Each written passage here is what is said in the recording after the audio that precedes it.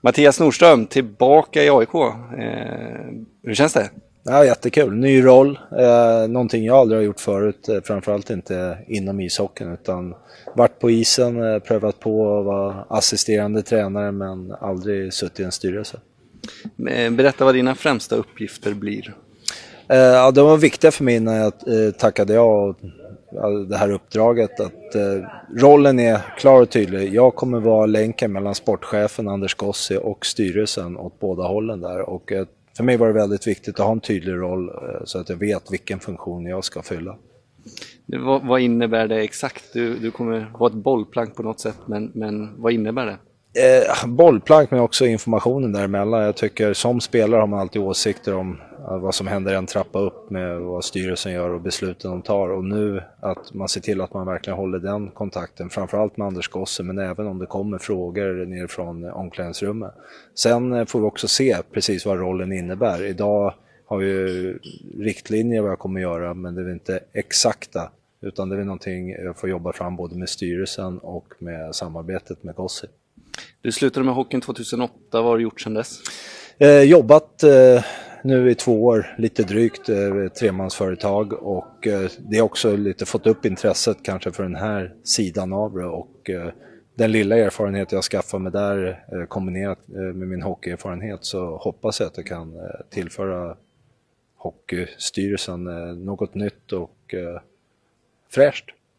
Vad har du saknat eh, hockeyn på något, eh, vad ska man säga, eh, sp själva spelandet på något sätt? Ja, eh, det har jag gjort absolut. Det finns eh, många saker man alltid svarar nej, det har jag inte gjort när jag lagt av. Men det finns vissa saker man aldrig kan ersätta. För mig har det alltid varit det här i slutet av en match, sista fem minuterna när viktiga matcher när du känner antingen trycket eller stödet från publiken och du får vara där ute i de här avgörande ögonblicken. Jag menar, den, den spänningen, den adrenalinkicken har jag inte hittat någon annanstans och jag tror jag aldrig kommer göra utan det är unikt för, eh, om man säger tävlingshockey på eh, högsta nivå. Så det har jag saknat och kommer alltid göra. Man har sett det några gånger på Hovet eh, under året. Vad tycker du om AIKs förra säsong? Ja, man kan inte tycka annat än en fantastiskt bra säsong. Jag menar, ingen tippa inte många i alla fall, AIK eh, ta sig ända till en semifinal utan otroligt stark säsong och otroligt kul som AIK att se att, eh, hur bra de skötte sig, framförallt de yngre killarna som aldrig har spelat i elitserien förut. Vad är dina förväntningar då inför kommande säsong? Eh, mina förväntningar är att, eh, av erfarenhet så vet jag att eh, andra året är tufft för individuella spelare som hade mycket framgång år ett i elitserien. Tufft också för ett lag därför nu har motståndarna studerat dem och respekterar AIK på ett annat sätt. Så att jag tycker ett naturligt mål är absolut slutspel igen och då visar AIK att vad som helst kan hända. Och nu finns Mattias Nordström med i styrelsen så då borde det ju inte bli annat än succé.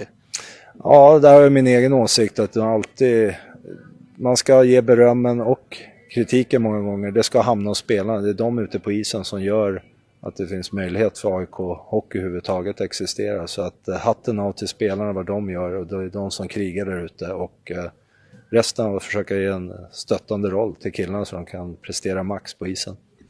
Tack Mattias och stort lycka till i ditt nya uppdrag. Tack så mycket.